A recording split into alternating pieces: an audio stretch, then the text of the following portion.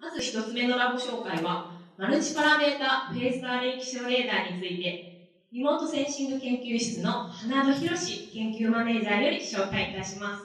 それでは、よろしくお願いします。よろしくお願いします。マルチパラメータフェーズアレイ気象レーダーを紹介します。略称は MP パーです。雨を3次元で観測し、予測が難しいゲリラ豪雨を素早く捉え、豪雨災害の低減に貢献できる最新型のレーダーです。んここは NICT ではないようですが、どこですか？ここは埼玉県埼玉市桜区にある埼玉大学です。あどうして埼玉大学に設置されたんですか？はい。MT パワー内閣府の戦略的イノベーション創造プログラムで開発され、参加機関から観測範囲にオリンピック・パラリンピックの会場が多く含まれる埼玉大学が選ばれました。場所にもこだわりがあったんですね。そうなんです。それではレーダーが設置されている屋上に向かいます。はい。埼玉大学の南東の角にあり、周囲が駐車場、テニスコートと見晴らしが良いのです。南東が都心方向で、オリンピック・パラリンピックの会場の多くがこちらにあります。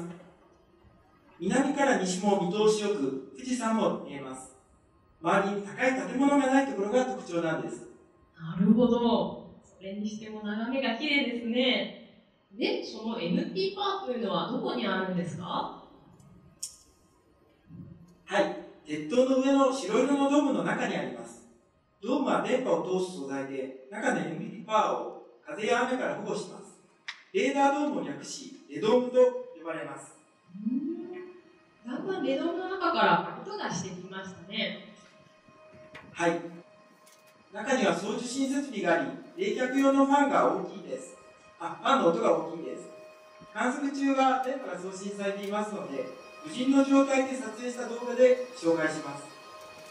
結構速いスピードでアンテナが回っていますね。そうですね。1周15秒で回っています。MP パワーは通常1周30秒で回転し、水平方向から真上方向まで半径 60km の範囲を観測します。なるほど、そうなんですね。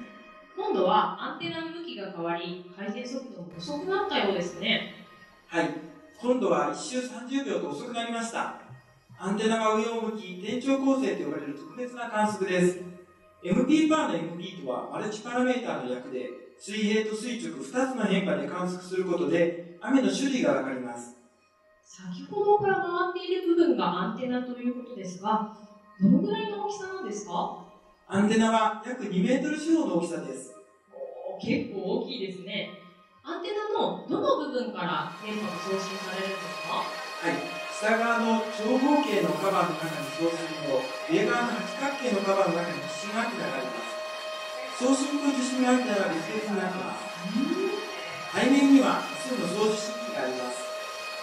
従来の気象レーダーはレドームの中にはパラボラアンテナだけだったんですが、MP パワー送受信設備があるのが特徴的です。送信と受信の両方ができるんですね。はい、そうなんです。今度はレーダー式の機材を紹介します。ラック一つに電源と監視制御信号処理を行う計算機と記録装置がコンパクトに設置されています。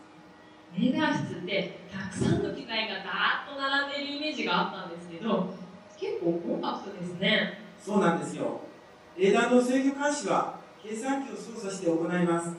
多数の送受信機の状態も緑色は正常で黄色ですと要注意。赤色は不具合発生とすぐ分かります。観測中のデータの様子の確認も可能になっています。今は緑だったので正常ですね。従来のレーダーに比べて MP パーの特徴はどんなところがあるんでしょうか？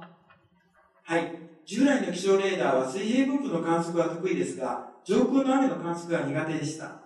3次元が苦手だったんですね。はい。ですが MP パーは2つの技術、電気的にビームを高速操作する、複数の地震ビームを同時形成する、これらの技術でほぼ瞬時に地上付近から上空の雨までを観測できます。こちらが従来レーダーとの比較です。右側が MP パーの30秒間隔の高温の3次元分布です。左右全然違いますね。そうなんですよ。右側は上空で生成発達、地上に降り注ぐ雨がアニメーションのようです。左側は5分間隔でパラパラ漫画のようでした。ウェブで画像を公開しています。TAWR で検索してください。はい、検索してみます。花戸研究マネージャー、ありがとうございました。ありがとうございました。